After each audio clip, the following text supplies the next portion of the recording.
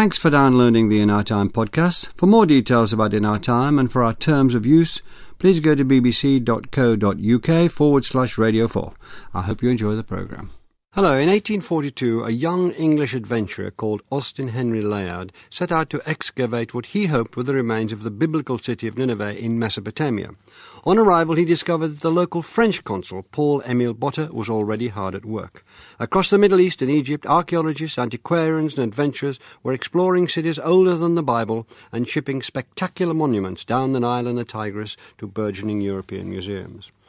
What was it about the ancient cultures of Egypt and Mesopotamia that so gripped the 19th century imagination? How did nationalism and imperialism affect the search for the ancient past? And how did archaeology evolve from its adventuresome, even reckless origins into the signs of artifacts we know today? With me to discuss archaeology and imperialism are Eleanor Robson, lecturer in the history and philosophy of science at Cambridge University and a fellow of All Souls College, Oxford, Richard Parkinson, Assistant Keeper in the Department of Ancient Egypt and Sudan in the British Museum, and Tim Champion, Professor of Archaeology at the University of Southampton.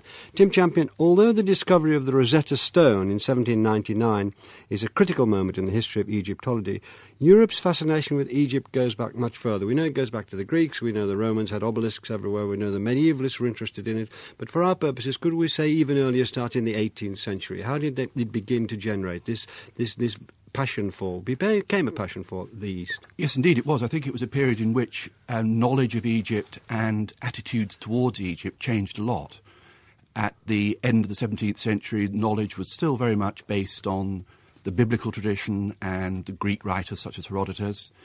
But visitors from Western Europe were beginning to go to Egypt in larger numbers and beginning to publish accounts of the antiquities. And so the debate, which had started in the end of the 17th century, dealing with how to accommodate Egypt in biblical account of civilization and chronology, moved on to a discussion of the actual antiquities of Egypt for its own sake. So by the end of the by the end of the 18th century, there were Egyptian antiquities beginning to be uh, shown in museums in Britain and elsewhere, and there was a completely different focus on Egypt for its own sake. The West crashed spectacularly into Egypt with Napoleon and his 30,000 troops and his hundreds, even thousands of scholars who went there. Um, why did he go there? Um, can you tell us why he went there and I, I think, what he yes, discovered? It, in retrospect, it's a spectacular disaster, but I think there were a lot of very good reasons. One, probably the strategic reason to interrupt British communications with its growing interest in India. So there's a geopolitical reason. Uh, but there are a lot of other sort of cultural, and political reasons. Um, there was the idea of the Ottoman Empire in decline and France saving people from slavery under the empire. There was also the idea of Napoleon as Alexander um, recreating a new empire in succession to the Greeks and the Romans. And frankly, I think there was also the idea of collecting objects for museums, just as Napoleon had done in Italy in 1796 when he was sort of looting antiquities on a scale very much like the Nazis. Yes, and Napoleon had the idea that he was the leader of the most advanced country in the world, and they were going back to the greatest of what was thought of then. It might be the most mysterious, unexplored country of antiquity, and as it were, claiming it. That's right. Uh, I think there's an idea of, of, France as the legitimate successor of Rome, which was the successor of ancient Greece, which was the successor of ancient Egypt. And therefore, the, you know, the things belong to them by right of war, but also as a symbol of their cultural dominance and succession. And they discovered what became one of the keys was the, the Rosetta Stone. Um, Richard, can I turn to you uh, about how they found the Rosetta Stone uh, and then how it went into British hands? We'll talk about its significance in a moment, but how they found it and how it came from went from French to British hands. It was very much in the heat of war. Um, the stone in medieval times had been reused as a building block in a fortress to protect the town of Rashid. And this was occupied by the French as the English troops were advancing across the Mediterranean. The fortifications were being strengthened. As they dug down to rebuild the walls, they discovered this strange block of granite lying underneath the earlier walls. As soon as it came out of the ground, they could see it had three areas of text. The top were Egyptian hieroglyphs, the bottom was Greek. And because every scholar, gentleman, could read Greek at that point, they could understand that part of the text And they knew from translating it, they knew what initial view of the stone had made them suspect was that the hieroglyphs said the same thing as the Greek. And nobody had been able to read hieroglyphs for a millennia. They were one of the great mysteries of ancient Egypt. They contained supposedly all its philosophic truths. So it was instantly a very important item. It was almost more than that, wasn't it, if I may? Uh, I, I mean, hieroglyphs had come to represent almost divine secrets, uh, areas of mysticism. The secret of all knowledge would be, would be uh, illuminated if you could crack the hieroglyphs. It's the primal font of all European yeah. wisdom, in some sense. No one can deal with them, no one can understand them, and suddenly this key comes out of the ground. So the French have it, and the British win the Battle of the Nile and Nelson and force the French to hand over a great number of their big artifacts and let them take home a few collectibles. Sort this is where it gets rather messy, and the French accounts are slightly different from the English accounts. Anyway, we got the Rosetta Stone. That's for the purpose of this program. The Treaty uh, of Alexandria. Can, uh, you can be messy, but not 16. for long. yeah, there was um, the French general wanted to keep it, so he claimed it as his personal property and the English write very scornfully how they discovered it, hidden beneath his dirty laundry with his embroidered saddles. And they eventually prize it out legally with the full approval of the Ottomans. It's part of the Treaty of Alexandria with the other antiquities collected by the French scholars. The French scholars negotiate so that they can keep the scholarly notes and the natural history specimens, and these, of course, become the great description d'Egypte which sparks a whole tide of Egyptomania. So back to what's on the Rosetta Stone briefly before we move on here. The, the, there are these three languages, and again, there's a Franco. Uh, uh what figures here as has done so often, whether in Europe or in the Middle East or in America, Franco-British, uh, maybe Franco-English rivalry. There's some work done by a man called Thomas Young, a brilliant young linguist and scientist from this country, who discovered some sort of alphabet. But it was the key to it. It was completion was by a Frenchman, Jean-François Champollion. Yes, Thomas Young identifies some alphabetic signs, sound signs, mm. that write the names of the kings on the Rosetta Stone. What Champollion does is to realize the same principle underlies the whole of Egyptian writing. Young thinks sound signs are simply used for foreign names and that most of hieroglyphs are really symbolic pictures, the old classical idea of them as great mystic truths. Champollion sees them as a mixed system for recording the sounds of the Egyptian language.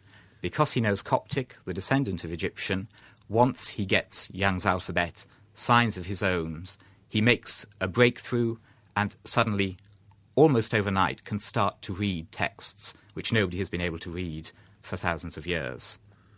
It's quite a stunning intellectual breakthrough. Young makes a huge contribution but Champollion remains the sole decipherer. The result, though, Eleanor Robson, is uh, is wonderful for understanding what was happening in Egypt, but for many people, a great disappointment because it did not contain divine knowledge. It didn't contain all the secrets of the universe that was hoped for. It was a fairly uh, straightforward description. That's right. I mean, the, the, the, text of the Rosetta Stone is, in fact, very mundane. It's a, a document. Um, declaring honours on the Ptolemy the, the Fifth for from the temples of Egypt. It's a, a, very routine document with no hidden wisdom. It's just a, legal document, but it does open up the possibility of reading all sorts of other papyri and inscriptions on tombs and pyramids, etc. And so. Uh, a much fuller picture of Egyptian thinking and life begins to develop from the Rosetta Stone, even though the stone itself is a disappointment in its contents. We've talked about, uh, um, I mentioned once or twice archaeology, which seems rather a dignified word to, to describe what was going on. It was a lot of looting and grave robbing, wasn't it, it was really? Basically, that. It was a co- collection of objects for Western museums, for private collections. But it's at a time when nobody had really conceptualized archaeology as the study of people and places. It was simply, um, for them, the recovery of objects, not only as, as, symbols of the ancient past, but as Tim has said, as symbols of, of modern uh, dominance over the ancient past and modern Western um, right to claim descent from the ancient past as well, I think. So, when they were shipped back um, after Nelson's victory at the Battle of the Nile, how were they received in this country, these objects? Richard? I think in very nationalistic terms. They were put on display and they were advertised as the items captured from the French. And the Rosetta Stone added another language to its scripts, the English labels painted on the side, saying given by George III and captured by the British Army in Egypt in 1801. And they are really seen as great symbols of national triumph. And it's at a point where England, in some ways, is you know torn by war and at quite a low ebb. They do give a symbol that really Britain is going to come out on top. Yeah, we're in the middle of that long war with France, as everybody would know. Yeah. What did, how did the British Museum cope with them? Um, the initial problem was they were far too heavy for the floors.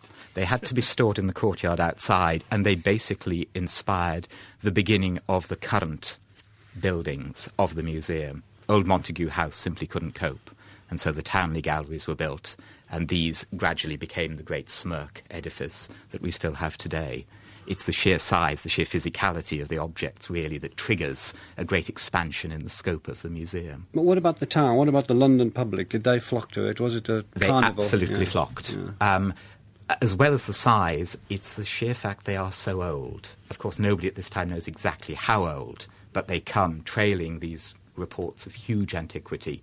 They have biblical resonance. They're strange. They're exotic. Um, they really pull people in to the museum in a way I think that only the mummies that were already in the collection had done before. Eleanor Robson, can we turn to the cuneiform equivalent of the Rosetta Stone, which is the Bisitun inscription? Mm-hmm. In modern day Iran, it's inscribed in three languages on the side of a cliff on a mountain pass, and it was cracked by Henry Rawlinson, a British diplomat. What is the significance of that inscription, and what did Rawlinson do to crack it? Well, that opened up the whole world of ancient Assyria and Babylonia. Like um, the Rosetta Stone, but much more immovable because it's a, a, a, huge monumental carving on a rock face.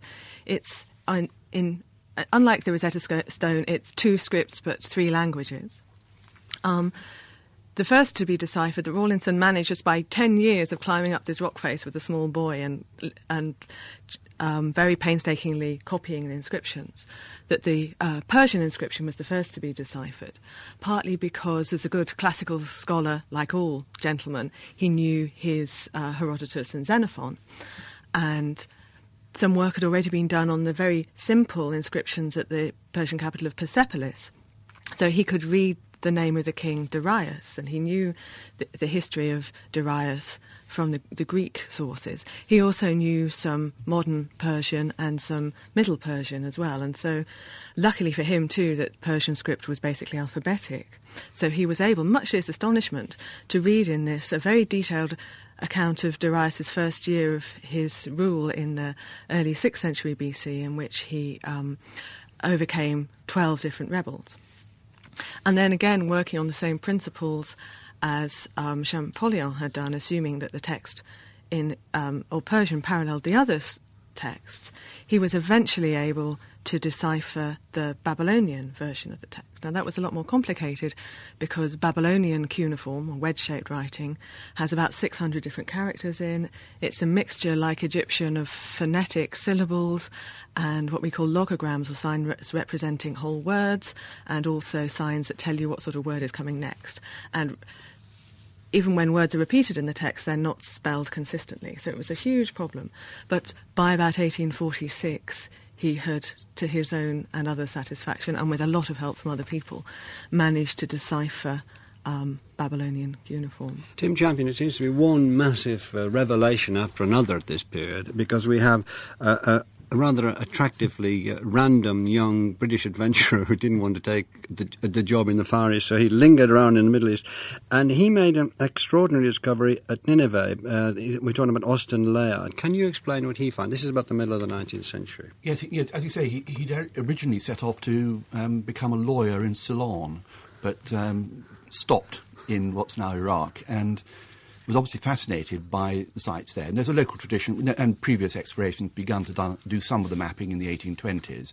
So there's a tradition that the, the, the site of Nineveh, well known from the biblical tradition where it's uh, described with such hatred in the Old Testament, was there on the opposite bank of the Tigris by the modern city of Mosul. And there are the mounds there identified. And both Botta and Layard were hoping to find Nineveh, the capital of the Assyrian Empire. This is the thing that they knew, about the only thing they knew physically about the empire. Um, but Botta, they started digging on the site.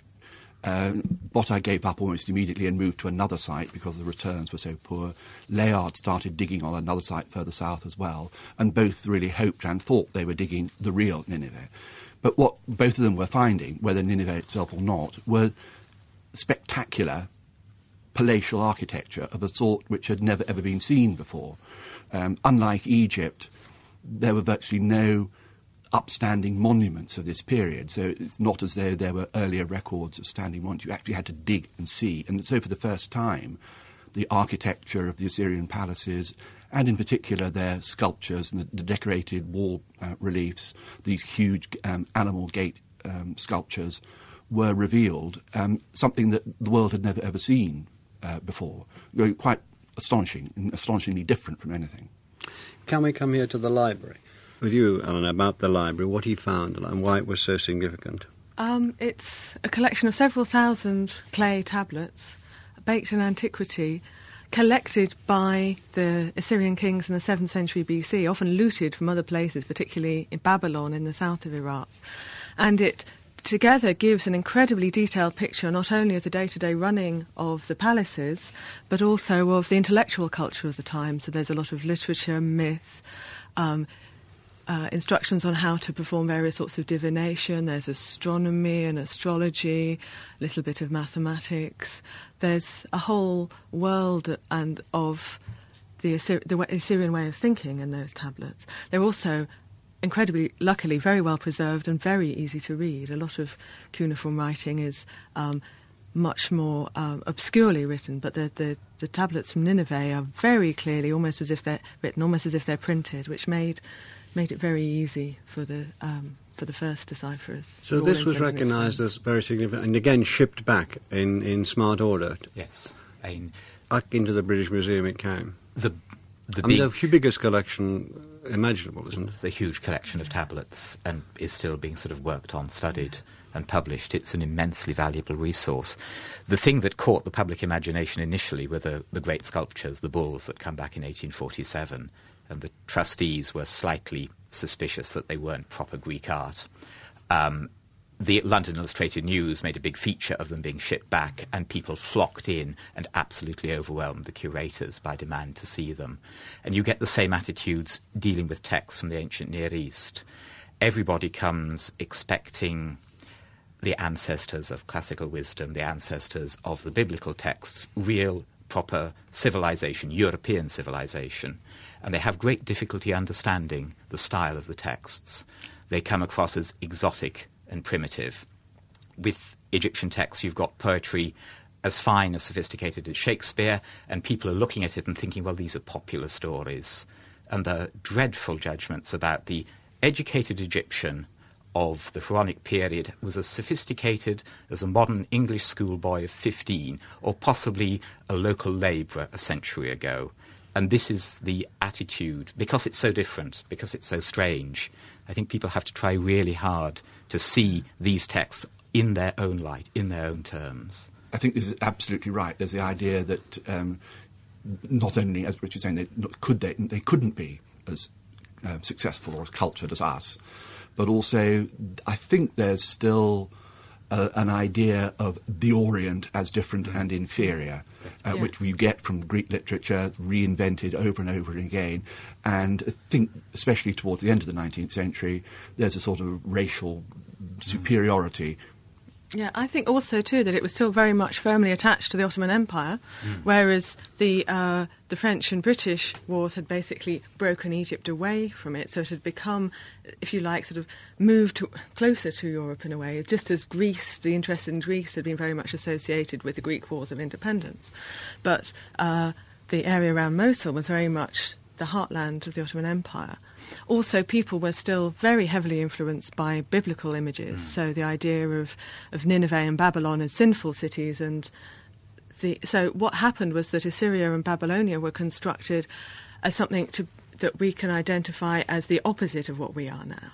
Right, so they're the, the antithesis of our aspirations as, as empire, whereas Egypt and Greece, I think, were role models the uh, for Nineveh and, and Babylon, they were the, the anti-role models, if you like. How You was know, this were the reflected- corruption and Sorry. the decadence You of, see of this in the paintings, don't you? Oh, Yeah. very much so. Yes, if you think about Delacroix's picture of the of the death of. Sardanapalus, where he is de- Sardanapalus is a, a Greek.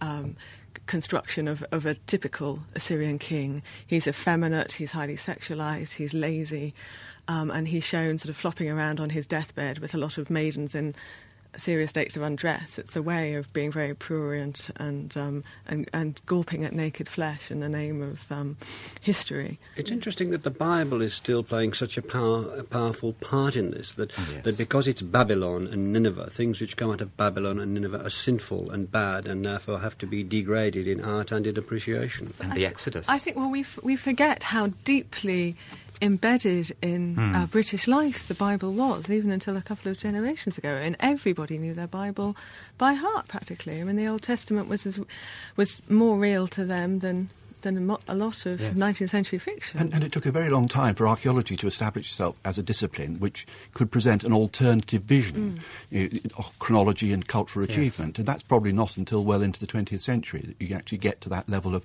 confidence and detail in the archaeological interpretation. the historical record didn't say what people were expecting it to say or wanting it to say. And so there was, I think, great resistance mm. to this sort of scientific development. So before we move on finally to talk about the development of archaeology itself, we are talking about these.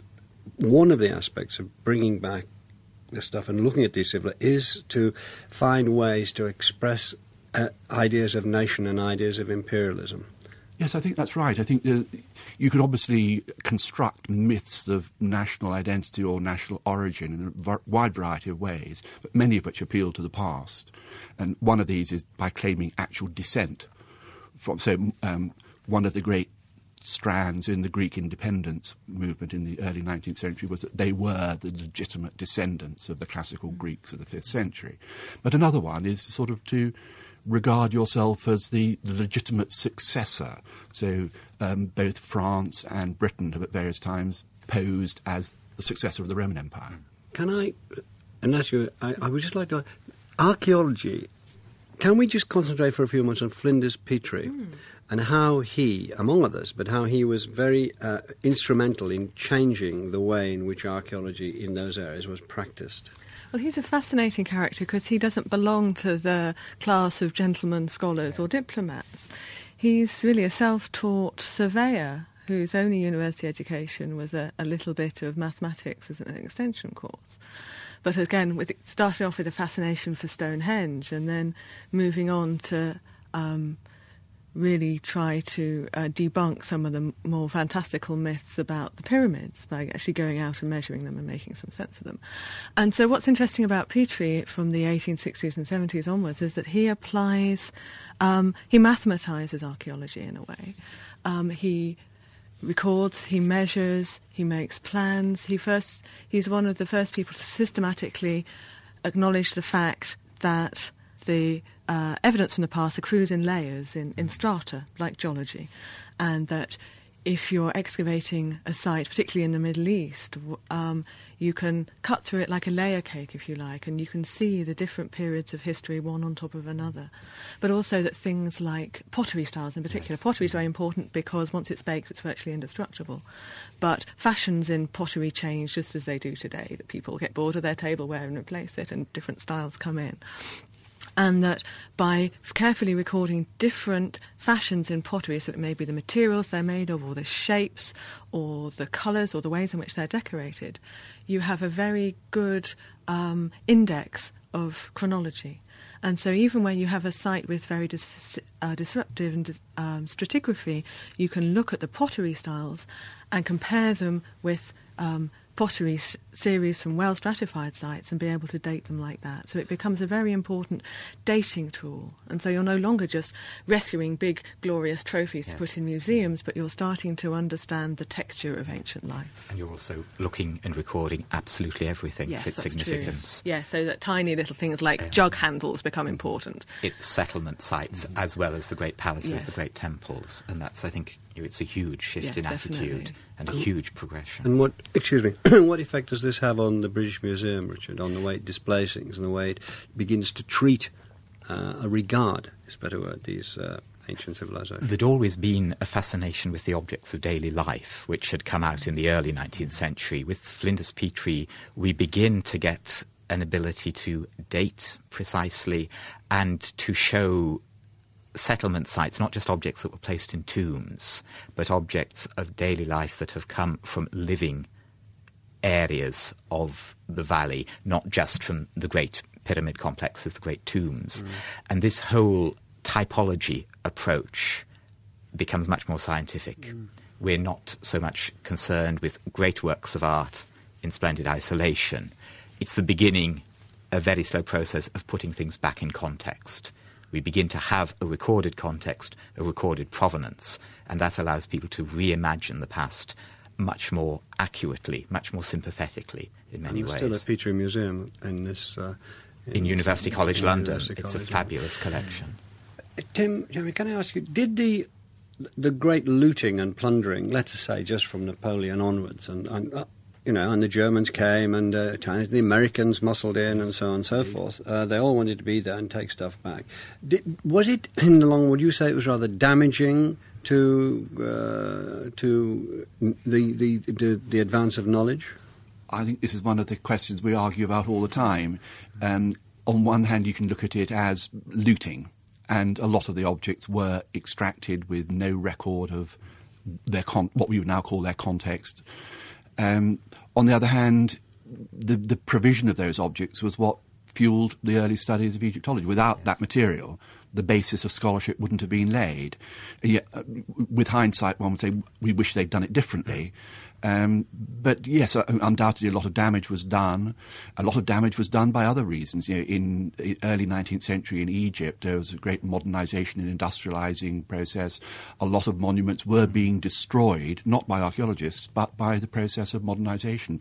Um, monuments being used to provide limestone for building and industrial purposes. So, uh, but it was in the course of that that, for instance, um, large numbers of burials became available for study. So, like, just like now, we, archaeology has to deal with development. You have to deal with the fact that you can only study the material as it's being destroyed.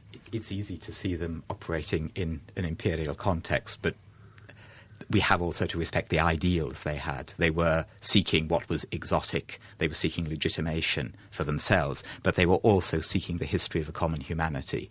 And that's something I think mm. we still relate to. We are the natural heirs, and it's a very lofty ideal compromised by their context, but we will be compromised by ours in a hundred years' time too. We, we shouldn't judge them too hardly. Thank you all very much. Thank you, Eleanor Robson, Tim Champion, and Richard Parkinson. And I have to have a few seconds to announce the winner of our website quiz. It is Sarah Thomas from Cambridge, and unstinting as ever, a paperback version of Descartes' discourse on method and his meditations is on the way to Cambridge paperback is what we do here. Next week of the Aeneid. Thank you very much. We hope you've enjoyed this Radio 4 podcast. You can find hundreds of other programmes about history, science, and philosophy at bbc.co.uk forward slash Radio 4.